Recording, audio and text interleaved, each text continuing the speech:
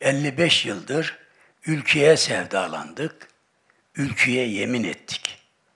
İlk günkü azim ve kararlılıkla bitmeyen gurur ve onurla nice 55 yıllara, nice yüzyıllara bizler göremesek bile milletin himmeti, Allah'ın hikmetiyle partimizin vasıl olacağından da en ufak şüphe duymuyorum, duymuyoruz. Rusya'nın NATO ile savaşması demek, Türkiye için beka düzeyinde bir sorun ve sancıdır. Bölgesel barış, huzur ve istikrarın temelinden dinamitlenmesi, mütecaviz ve mütehakim zorlamaların dip akıntı halinde ilerleyiş kaydetmesi, insanlığı felakete sürükleyecektir. Rusya ile Ukrayna arasındaki savaşın üçüncü yılında aklı selimin öne çıkmasından, sağduyunun hakim olmasından, diplomasi ve diyalog kanallarının açılmasından başka makul bir alternatif yoktur.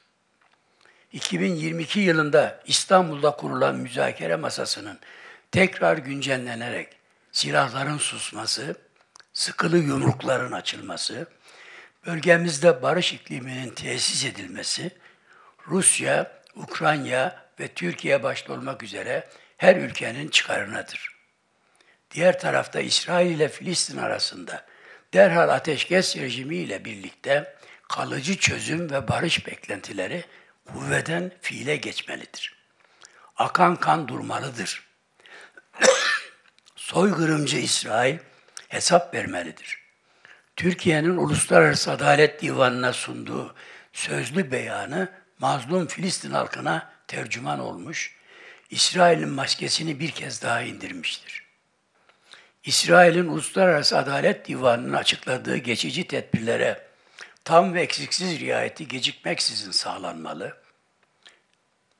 Saldırılara son vermesi için ihtiyaç duyulan mekanizmalar devreye sokulmalıdır. Filistin halkının istediği adalettir, eşitliktir, bağımsızlıktır. İsrail'in Doğu Kudüs, Gazze ve işgal altındaki diğer Filistin topraklarının kimliğini ve statüsünü değiştirme amacı gayri meşrudur, gayri hukukidir, gayri ahlakidir. Böylesi bir dayatma insanlık vicdanında asla karşılık bulamayacaktır. ABD Başkanı Biden'ın önümüzdeki pazartesi günü ateşkesin olacağını söylemesi en azından ihtiyatlı iyimserliğimizi desteklemiştir. İsrail suçludur, soykırımcıdır ve 30 bin masum hayatına son vermesinin bedelini en ağır şekilde ödemelidir.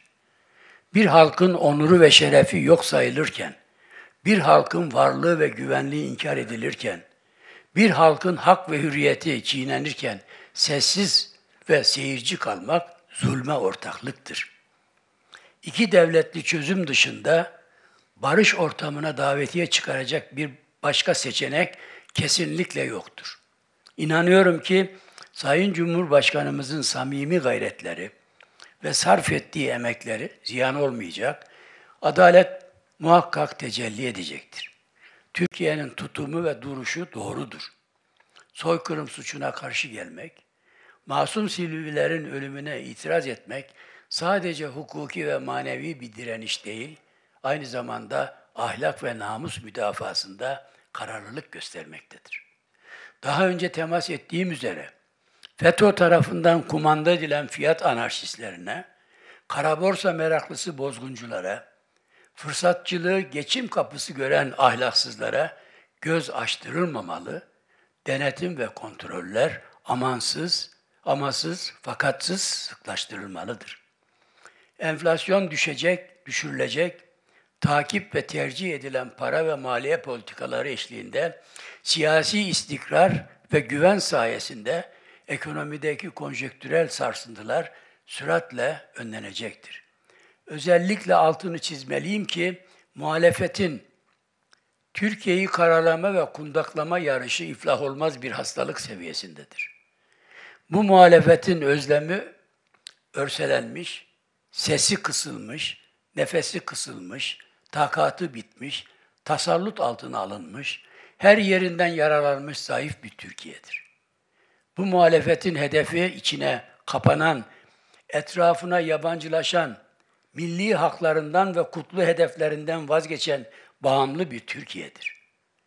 Bu muhalefet Türkiye'ye hepten yabancılaşmış, Türk milletiyle gönül bağını ve ahlaki bağlantısını çoktan koparmıştır. Şu hususu herkesin anlamasında fayda vardır.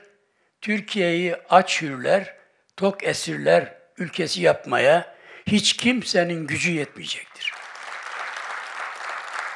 31 Mart 2024 Mali İdareler seçimlerinde merkezi yönetimin hedefleriyle örtüşecek, Cumhurbaşkanlığı hükümet sisteminin doğasıyla uyum içinde olacak muazzez bir sonucun çıkması yeni yüzyılın en önemli demokrasi başarısı olacaktır. Yerel yönetimlerde kaos ve karmaşa son bulmalıdır. Her şeyi eline yüzüne buluşturan, adeta kriz üreten merkezine dönüşen, demlendikçe şuurunu ve dengesini kaybeden Cumhuriyet Halk Partisi'nin halihazırdaki yönetimi altındaki belediyelerin milletin iradesiyle toparlanması ve düzlüğe çıkması başlıca amaç ve arzumuzdur. Cumhuriyet Halk Partisi yerel yönetimlerde başarısızdır. Cumhuriyet Halk Partisi yerel yönetimlerde acizdir. Cumhuriyet Halk Partisi yerel yönetimlerde iflastadır, itibarsızdır.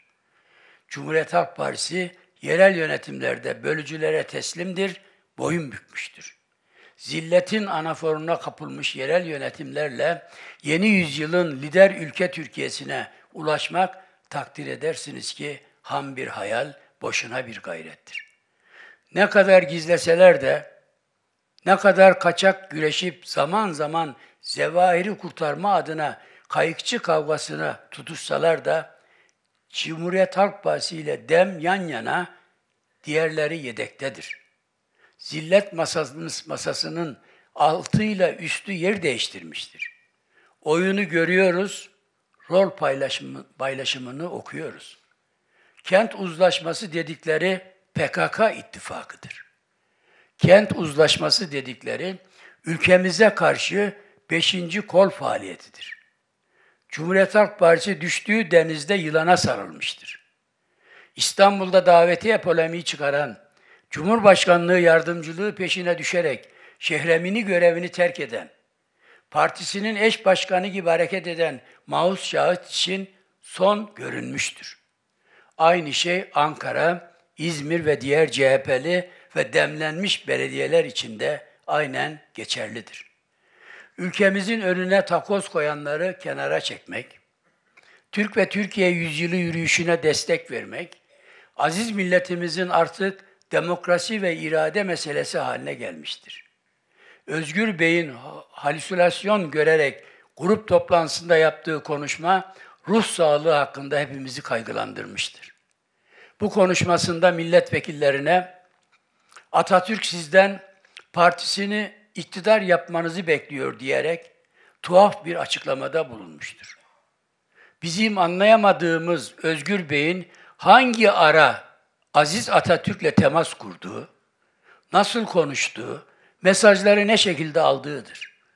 Şayet ruh çağırma seanslarına katılıp bir sonuca ulaştığını iddia ederse kendisine yazık olacak, hayalleri gerçekmiş gibi sunmasının faiz sonuçlarına yakın vadede katlanacaktır. Yok uyduruyorsa bu defada palavracı ve siyasi mehtah olarak anılmaya hak edecektir. Bugünkü Cumhuriyet Halk Partisi Atatürk'ün partisi değil, demin oyun uşağı, Türkiye düşmanlarının altı oklu uydusudur. İddiaya bakar mısınız? Neymiş? Atatürk dile gelmiş de partisinin iktidar olmasını istemiş. Böyle konuşan Özgür Bey ne yiyip ne içtiğine biraz dikkat etmesini samimi tavsiyemdir. Teröristlerde demlenenden bir parti Atatürk'ün partisi olamaz. Terörle mücadele hayır diyen bir parti Atatürk'ün partisi olamaz. Bölücülerin elini eteğini öpen bir parti Atatürk'ün partisi olamaz. Yerli ve milli silah sanayine karşı çıkan, Karabağ'ın azatlığına şaşı bakan, ağzına Türk milletini alamayan milli mücadeleden revans almak için isteyen mihraklarla can ciğer kuzu sarması olan bir parti Atatürk'ün partisi olamaz. Hayatlarında bir kez dahi olsa ne mutlu Türk'üm diyene sözünü hatırlamayanların ambargosu altında bulunan bir parti Atatürk'ün partisi olamaz. Köylüyü küçük gören, milletin demokratik seçimini aşağılayan, depremzedeleri suçlayan, yabancı ülkelerde Türkiye'yi kötüleyen bir parti Atatürk'ün partisi olamaz. Gazi Mustafa Kemal Atatürk demek, Türkiye Cumhuriyeti ve soylu milli kahraman demektir.